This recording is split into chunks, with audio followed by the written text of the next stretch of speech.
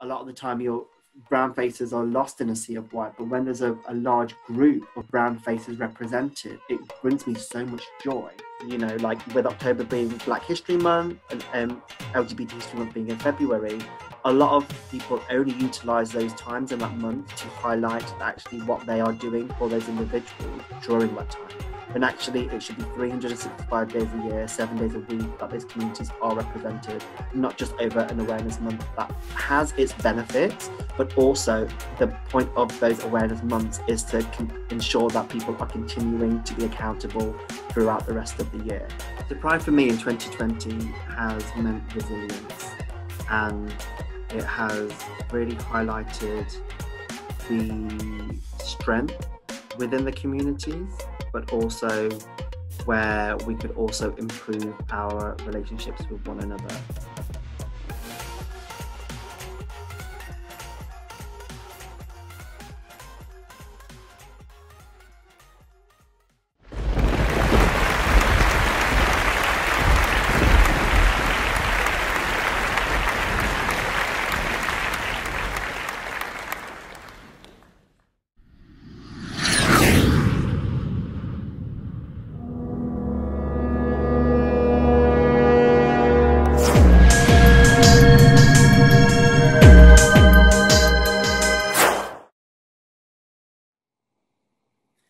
Name is Makinder Singh Chahal, and my preferred pronouns are he and him. And I'm the Senior Health Promotion Worker at Trade Sexual Health in Leicester and also the Group Facilitator for Dosti Leicester, which is a South Asian and Middle Eastern LGBTQ social and support group hosting online and in person socials as an opportunity for LGBTQ people to interact with one another and get to know one another.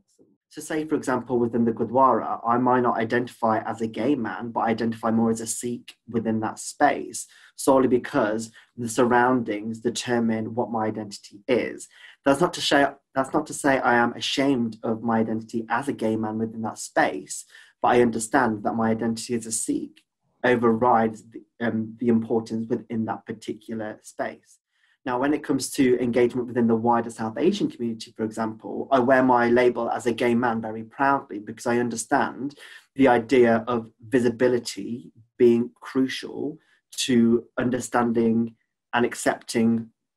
wider communities and individuals within those spaces. So, although sometimes I may feel threatened by having that identity in uh, very prominent in those particular spaces, I know the greater good it would be for educating the wider community, but also empowering those individuals who may not feel that their identity can be represented in those spaces. You use examples of uh, you know pride events or pride parades where you know a lot of the time your brown faces are lost in a sea of white, but when there's a, a large group of brown faces represented, it brings me so much joy to see those spaces being dominated by people of color because actually they deserve to have that space more than anybody else and a lot of the time people of color are putting their you know their identities which they can't hide because it's a part of our skin on the line to empower others but also to educate and let people know that we are there and we're not ashamed to be there either I think for too long, many organizations or many companies haven't been accountable for the actions that they take. And, you know, some of the um, using of communities or appropriation of communities that they have used for their own profit or their own benefit. And I think, you know, understanding and accepting when things have not gone the right way in the past or when they have done something wrong, putting their hands up and owning up to it, but also laying out and laying on the line what they are going to do to then support those individuals that they have profited from going forward and how they can actually work together and collaboratively instead of just being a voice for them, utilizing the voices of those individuals to in, empower others. As much as we can do, we should be lifting each other up, as well as, as well as acknowledging our own prejudices and the own downfalls within our wider communities. And you know, identifying as a South a South Asian person, I understand that there's a lot of anti-blackness within the South Asian community. And instead of just putting our hand in the sand and denying its existence, it's about challenging others, educating one another about why that is wrong, and supporting one another going forward and supporting our um, the black community as much as we can. I think especially during the time of COVID, it has really highlighted the the the importance of community and cross-community resilience when when supporting one another and each of our causes. I know it's almost it feels like a broken record kind of element where you know a lot some steps are taken but then some steps are taken back or some people only highlight what they're doing over certain times of the year you know, like with October being Black History Month and um, LGBT History Month being in February, a lot of people only utilize those times in that month to highlight actually what they are doing for those individuals during that time. And actually, it should be 365 days a year, seven days a week that those communities are represented, not just over an awareness month that has its benefits, but also the point of those awareness months is to ensure that people are continuing to be accountable throughout the rest of the year. So it is starting, and I'm, I've definitely started to see a lot of um, cross cross identity support, um, especially with campaigns like South Asians for Black Lives. It's been really empowering to see that actually, you know, we are gaining traction on the ground to then support wider communities. The first thing is to not be afraid of our own feelings. I think a lot of the time, you know, with COVID, it has really highlighted people's pressure that they put on themselves to kind of like deal with a situation. Nobody really prepares you for a situation like COVID 19 or, you know, the lockdowns which have happened. We've basically had to go in there with whatever resilience we have had prior to that. So basically being thrown in at the deep end and hoping for the best. Now, as we go into a second lockdown and people have kind of had an idea of what feelings they've had during that time, it's about uh, tuning in to your own emotions and own feelings and really understanding them. And if you if you struggle to understand them getting support from other people around you um, with the support mechanisms which are there through either friends family or even professional support through organizations which have been continuing to provide support throughout the time the lockdown has been going on. And self-care really being super important and understanding that everybody has their own ways of self-care and not everybody's ways of self-care is going to be the same. Although you know some methods of self-care may be more constructive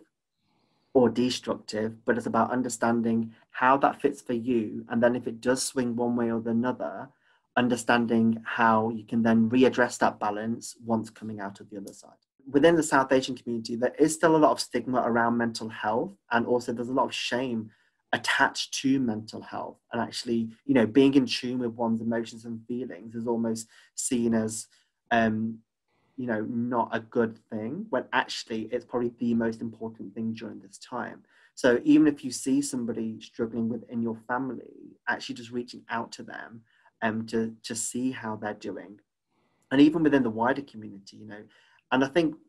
especially within space like i've already mentioned spaces already but say for for example places of worship where you may have seen people there but actually unsure how to reconnect with them is actually you know connecting with those spaces if possible to then see to ensure that they are supporting the wider communities that access those spaces. And so it might be a case of just calling and checking in with people if they've got contact or maybe opening up a space for a very limited time and promoting that to ensure that actually you know people who maybe haven't got access to a smartphone or the internet have still got a space to go to even if for a, a limited period of time. So pride for me in 2020 has meant resilience and it has really highlighted the strength within the communities, but also where we could also improve our relationships with one another and to support one another in more ways and as many ways as possible. But the main overriding thing for Pride in 2020 has been resilience and strength. What about future prides? For future prides, I wish to see the continuation of the lessons learned during this time and ensuring that no person is left behind mm. and ensuring that everybody is represented in as many ways as possible, as well as being accountable for our own actions and accountable for the actions of other people and holding people into check, making sure that, you know, we're looking after one another, keeping each other safe, and um, making sure that everybody can stay as ha- happy and as healthy as possible um, throughout the whole community. So I think for me this year, like it was sad that we couldn't get together physically, and you know to embrace one an- uh, one another as people usually were during Pride and at Pride events and Pride parades. But at the same time, it really enabled us to create new connections and that we may have never done in person and and really reach out to people within our own communities that we may have never reached out to before. And I know for me, you know, utilizing digital spaces for digital pride events like we had done in Leicester really enabled people who had never accessed the pride before to access maybe their first pride for the first time in a way which they felt comfortable doing. For a lot of people, you know, attending their first pride event, physical first pride event, can be very overwhelming. And actually, even that we saw with individuals accessing virtual pride in Leicester, it acted as that, as that stepping stone to see what could be done and building up their self confidence and building up their uh, resilience to be able to maybe attend their first Pride in person one day. I feel there's a lot more that could be done to improve that relationship. And I know even within Leicester, being you know the the, the first minority majority city in the in the UK,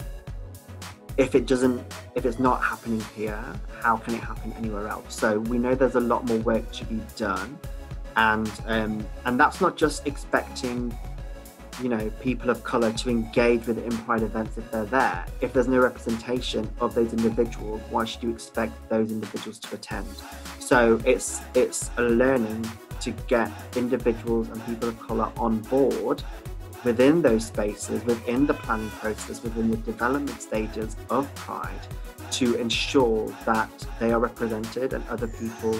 around them are represented too the, the one thing that I always say to people is, you know, is